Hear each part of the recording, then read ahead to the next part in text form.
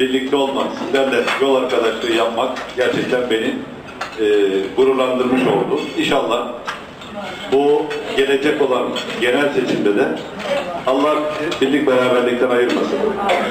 Allah bizi bu yolda başarı daim etsin. Bugün var olmamızın anlamını, var olmamızın önemini Cumhuriyete borçluyuz. Çünkü Cumhuriyet sayesinde özgür olabiliyoruz. Kadınlarımız Cumhuriyet sayesinde kendilerini bir birey olarak anlayabiliyorlar. Toplumun içinde hissedebiliyorlar. Çalışabiliyorlar, okuyabiliyorlar, meslek sahibi olabiliyorlar.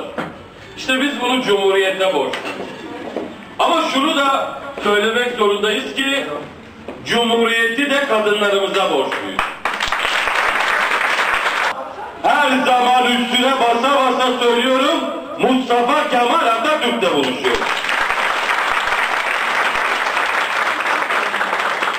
İşte Çünkü ben o tarihte Demokratik Sol Parti'deydim.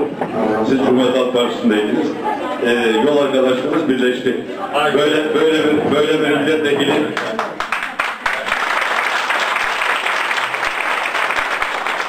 böyle bir milletvekili seçtiğim için gerçekten sizlerle gurur duyuyorum.